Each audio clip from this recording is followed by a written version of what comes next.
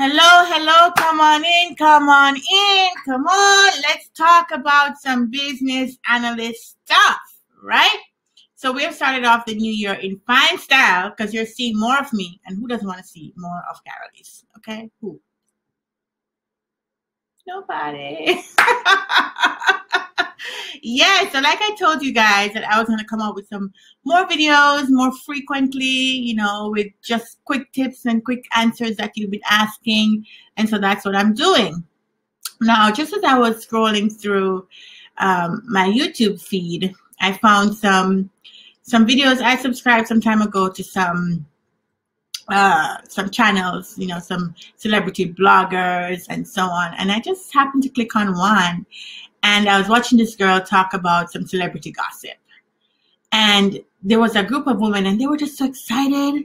You know, they were motivated. They were like having a blast. Some were drinking wine and they were just chatting and just enjoying talking about other people's lives. you know, like, I personally am like, you do you, boo. Like, I don't really care about celebrities' life like that. But these women were just super excited, and they're, they're you know, they're channels with men who do this as well. I mean, you have TMZ, you have all of these channels, and that's what they do for a living. And I just thought about it. I was like, wow, look how in you know, look how excited they are about the stories they're telling and the things that they're doing. And what if we were just even half that excited about our own careers?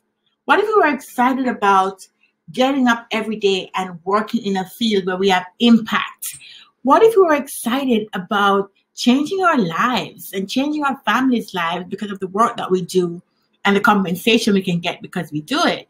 I mean, wow, if we had the same amount of enthusiasm, or even just half that, if we even have half the enthusiasm towards our job that I see some other people have towards jobs that are more I would say superfluous, like talking about a celebrity's life and who they married and who they had kids with and what they're doing. It's, I mean, it, it feels entertaining, I guess, but it really doesn't have a big impact on the world, I would say, at least not in my world. so I just wish we had the same enthusiasm towards business analysis. And that really brings me into the topic of today, which is is the BA career a good one? is business analysis a good career to have? And that's what we're going to be talking about right now. All right, gang. So today's video is brought to you by PM Milestone 2.0 Pro. And PM Milestone 2.0 Pro is a collection of over 9,000 product management and business templates that's going to be helpful for you in your next project. So I'm going to link this below in the description section.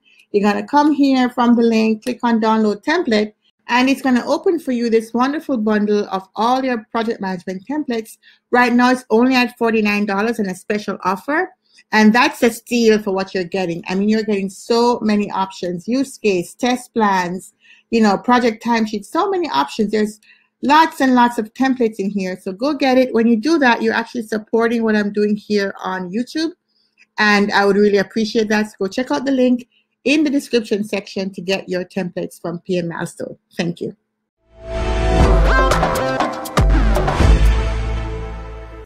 Very objective person, obviously, right? And I'm going to tell you the truth regardless. Obviously, I'm in the BA space, or I have been. Right now, I work as a product manager, but I've been a business analyst for many years, and it's kind of not too far from each other, really. So you know, you might take it to say, you know, I'm going to be biased towards it because I worked in it, but it doesn't matter. I'm just going to tell the truth and you're going to walk away with your own interpretation regardless, right? So is a business analyst career a good career to have? And I would say it depends on what you consider to be good and what you're about. I am sure there are many people who would have walked into this field and started working it and be like, mm, mm-mm, ain't for me, boy uh, this is not this is not my thing and left right there, there must have been many people who would have started down this path and abandoned it because it didn't fit their personality they didn't like the environment they didn't like the tasks they had to do um, and they didn't feel that this was their calling but for the rest of us for many a lot of people if you are into if you have a certain personality, and I did a video on is a business analyst career right for you, which you should go check out. It's gonna be somewhere here. Um, it does expose some of the things that you can know just from your own personality, from your innate behavior, as to whether or not this is a career that you should be endeavoring to get into. Because it's not for everybody. It's not for everybody. And so, good, is it a good career? Uh, really depends on what you consider to be good. Now, in the general scheme of things, people look at good as being something that is high in demand, something that pays well, something that has prestige, and you know, you know, you, you feel proud to, for the job that you do, or you can say, you know, your family can be proud of you because of this is a career that you um, have gone into. And I would say, from that perspective, sure, yes, the business analyst career is definitely a good career for those reasons. Um, but there are other things that make it a good career that I think that I would like to talk to you guys about. So, for one, for me, one of the most important things is not just the compensation, how much money I get paid. I believe that, you know, I'm a good, I'm good at what I do, right? And whenever I am tasked to do something, I bring myself to it. I bring my entire, my mind, my, my, my, my thinking, like I am completely involved in it. Like I engross myself in it. And so I'm going to do a good job because if I don't know something, I'm going to go find out. You best believe it. And I'm going to find out to the point where I become this me. I become the expert at this thing, uh, even more than people that are there. So I'm, I'm just, I just have that personality where I get involved. If I'm going to do something, I say yes, then you're going to get quality. That's just my MO. Like this is how I work. Um, other people may just do things just to meet a timeline or they just want to get it done and be done with it. But I'm doing it with soul because I believe work, there's value in work.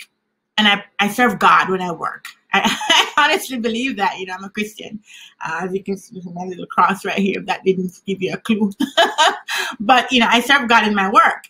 And so I'm doing it with, you know, not for my employers necessarily. And yes, because I enjoy the result of it, but I'm doing it also to praise God. So that's part of the, the thinking behind what I do. But just just to say that part of the reason why I like business analysis is because outside of the money that you're paid, which is a I'm going to get to that in a minute, which is a definitely a good salary, you have impact. You have impact. And that's important. Like you you affect things and you cause other people's lives to be better and so you see someone struggling with something and they can't solve it for themselves. They don't have the power, they don't have the, they're not in the position. There's all kinds of reasons why they can't solve it for themselves.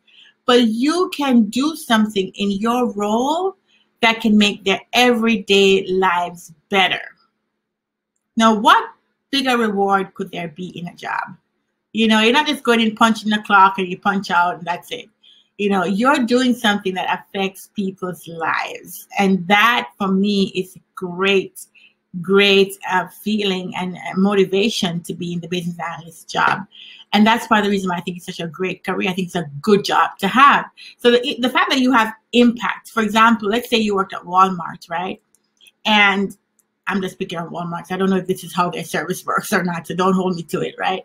So let's say their, their customer service is such that you have to go in and you have to present all these documentation and you know it's just a long wait and they have to go verify with supervisors before they can do any kind of I don't know refund. I don't know what it is, but something like that.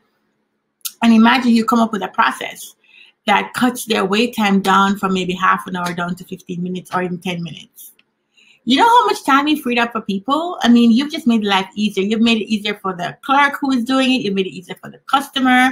You know, the company can make more money, and people just have a flawless, easy experience when they come to do this service at Walmart. And because Walmart is such a big company with so many, you know, customers, you just uh, you just by doing one simple change in the process, you've just multiplied the, you know, the, the free time that you've given to endless amount of customers, and you've made many, many, many clerks' lives better. Can you imagine that? I mean, what job does that? You know, very few, right? So that's why the value of being a business analyst because you can affect so many people at once and you can just you're just always looking for ways to improve things and when you improve things you're improving people's lives as well even though you don't realize it but you do um, the other thing that i love about business analysts is it's very important So, I mean, this is going to sound bad, but there are some jobs that are not as important. I'm just going to say it, right? Some jobs, you know, people live with a constant fear that they can be let go at any time. Although business analysts can be let go too, but like the job can be easily replaced with a machine or with a software tool or something like that. And they feel like, you know, gosh, at any given moment, I'm out because they can easily replace me. And they live with that fear. Now, because business analysts are actually thinkers, we're thinking about the solution. It's not something that's dropped on our plates and we just have to just work with it. No, we are actually coming up with things. We are the change agents. We articulate the rationale for this change to the organization. We're, we're interviewing people. We're uncovering what the real source of the problems are and then you know, designing and coming up with the future state and how it's going to be improved. That's something that's a little bit harder to automate, right? And so you're vital you know you're vital to the business especially when you're in the technology space where it's changing so fast and they need you to keep up with the change and they also need you to make sure it doesn't affect whatever they already had going on so the role of a business analyst will be very very important especially in technology uh, verticals but also in other verticals as well but it's just you are you are not as easily replaced and therefore your your value to the organization feels amplified, right? Because you're vital. They need you, you know, in most cases. Um, the only time when I find that they get rid of business analysts would be if there's a merger, they already have business analysts, or um, they have downsized the company for some reason. And so, not to say the job is completely secure, but you just feel like that you're not as easily replaced by another technology, right? the other thing that makes it a good job is that it's high in demand. I mean, if you go on LinkedIn or you go on Indeed or any of these other job posting boards, you search a business analyst, you see a whole lot of list of business analysts pop up because it's high in demand. There are some jobs that you search and you find one or two or three, and it's the same few companies, and you're like, oh my God, I'm stuck. no, not with business analysis. With business analysts, you know, the roles may be different. They even might call it something different, but if you look at the job description, you'll see that the, the actions that you're doing, the tasks you're doing, is really into the business analysis space. So it's high in demand, which is great. Um, it's also a little, I would say, a little lucrative. Yeah, lucrative, meaning that when you tell someone that you're a business analyst, they think all kinds of things sometimes they're not correct, right? They think that you analyze businesses for a living, which they don't know what that is, but it feels fancy, you know, or they think that you're just a, a corporate person, you know. So it has this kind of lure to it. And people don't know what it is for sure, but they assume it's something important.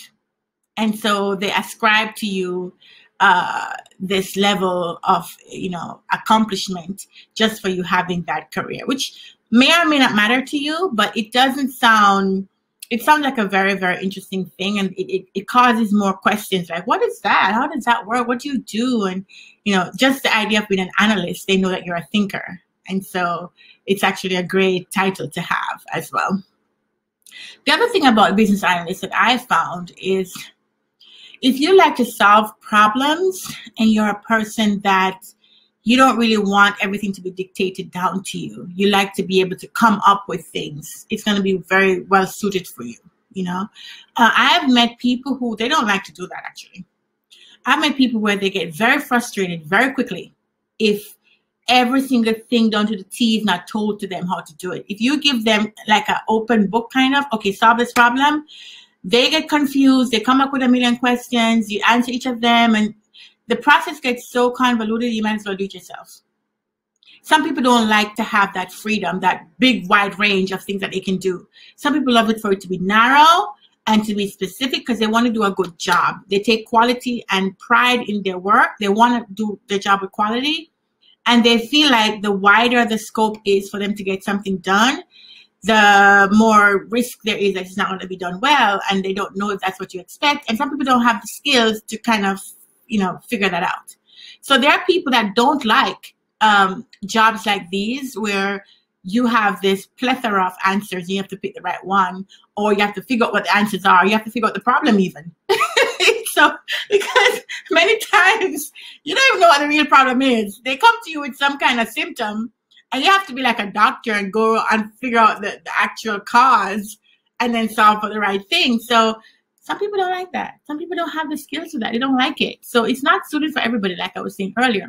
But if you're the kind of person and you thrive in this kind of ambiguous environment, you thrive in just getting in there and so okay, all of this mess over here, all of this mess over here, let's fix this mess, right? Let's figure this thing out and get it working right. And you love going into something and being able to build it from the ground up or even getting into something that's already built and finding the places where it's not quite right and just kind of fixing it, you know, finding out what are all the pieces that come together, find out what each person's role is, how this role can help the other role, you know, like working with different people to make sure everybody agrees on what the right thing is to do, and then having all the tasks and all the actions and all the approvals and so on to get the right future state uh, implemented, if you like that kind of thing, and you may not even know that you like it because it's not something that you put a label to. It's something you're probably already doing in your family, in your home, with your friends, and you just don't know that there's a label to that, and that is solutioning, right? Which is something I, a term I coined in one of my other videos. But being a person who loves to solve problems is going to be great for you in this career. And this is why it makes it a good career for me because I like solving problems. And if you're a person like me, this will make business analysis a good career for you as well. The other thing about business analysis that I think a lot of us would like is that it's really a middle management role, right? It's not a role based on what I just told you about not having everything dictated down to you it's a middle management role where you're managing things. You may not be managing people, you may not have to deal with staff who report up to you, but you're managing things. You're managing the reporting, you're managing the documentation, managing the process, you're managing the tasks. So you have all these things to do and you're managing all of them. So you could be a manager without a direct report. And so you start off in this middle management and you can only go up, well, hopefully only go up from there. So many people struggle to get into management. When you become a business analyst, you're already there. So that's another thing that makes it a good career to have.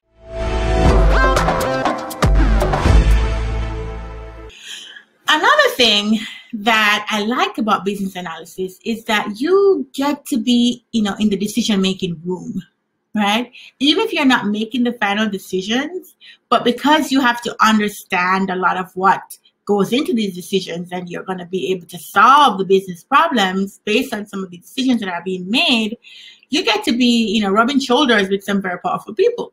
So you may be in the executive room with the VP, with the CEO, with, you know, all of the, the I, I call them toppers, top of top. you know, I'm Jamaican, got to say the slang, top of top basically the big fish in the room, right? So you get to sit in the room and you listen to how they think. You hear the rationale behind things, and you sometimes you're just in there taking notes because you don't have a say.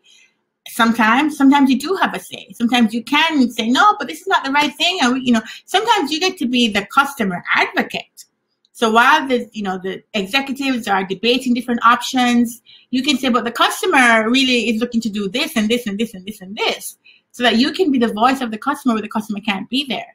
So you get exposure to higher level strategic thinking and thought leadership, and you understand from a high level sometimes why decisions were made. And so when you're at, you know, you're going through the different levels to get the implementation of this thing done, you can have a very well-rounded understanding of, of how we got here right? And that's important. Sometimes when you work in companies, you never see the CEO or even sit in a room with him. You never, you know, really interface with the VPs and stuff like that. But when you're a business analyst, not all the time, but sometimes you have the opportunity to do that. And even if you don't yet get to be in that room with them, you're like one person removed because your product manager might be in the room or your you know your project manager might be the ones telling you what they decided. So you're you're not too far away. And this is great because it's going to help you to grow to build to become strategic yourself and to look for that next next step because you're going to start off as a business analyst but you're trying to go up right? So you're going to go up into management you're going to go up into vp and hopefully maybe you know wherever else you can go from there so those are the reasons i think that business analyst job is a good career so i got done talking about business analysts being a good career without mentioning the salary which is what everybody probably is waiting to know so yes you do get a good salary from being a business analyst. Of course, it depends on your company and your country and the state you're in. Every state may have a different salary, every country, and so on. But generally speaking, it's a very high paying job. Um, the IIBA, which is the International Institute of Business Analysts, does a yearly salary survey. And they did one for 2020. You could go check that one out. And that one, I'll put the link in the description and while you're there, please subscribe and please like and also leave a comment. Um, and that that survey actually does give you some insight as to how much a business analyst gets paid. I also have a article up on karaleise.com that says the very same thing, like how much the business analyst get paid, and that will also be in the link below. So click on that link and go find that out. But it's a very high paying job. Um, surprisingly enough, in 2019, I think men were actually being paid less than women in this field. So there's a lot of women in the business analyst field, and um, it's it's it's very lucrative and it's high in demand. Like I said before, you get paid well. You work in corporate environment most of the time. There might be some travel. Um, not every business analyst job will have travel, but there's some that do. And you know, you get to basically work a lot with um, basic tools like word tools. You don't really have to use any fancy tools. I have another video on different uh, software tools that business analysts use. But yeah, in terms of salary, um, the skills that you bring to the table, they really compensate you well for that. And uh, it's a high paying job. So yes, that's good too. I think it's one of those careers that I stumbled upon and I'm happy. Thank you, Jesus, that I found it because I found the thing. I found the thing that makes me shine, the thing that I enjoy doing, and the thing that I can do very well. And I hope for you that you also find it. And if you need some help, with business analysis, just want to understand the whole world and what's going on, all that stuff, please go check out my website. I have some free courses up there. You go to karaleise.com, you go to free courses, and you can watch all the videos that I've put in different topics. I've organized it for you in different topics that you can go and watch it all free. So you're not losing anything. You just go watch it, understand what this field is about, and you can, you know, judge for yourself if this is a good career for you. Now, I will be coming out with a paid course and that's going to be for people who are starting out in the field. It's going to give you the fundamentals of business analysis. It's going to help you to work through a real world project. You know, you're going to see all of the different things that come together from scratch. You're starting from zero, like from nothing, right? And hopefully by the end of that course, you'll have the confidence and know that you can go out there and apply for a job and get it because you understand the principles of business analysis. So that's coming out. That's going to be a paid course. But in the meantime, please check out my free course and please check out the sponsors of this video, which I'll put in the description box. And like and subscribe while you're down there. Get the, you know, let let the video and let this go out to other people who might also be asking this question. So subscribe, like, comment, check out the sponsors, and go to karaleise.com and check out those free courses. Hope you enjoyed this video and I will see you guys next time. Bye.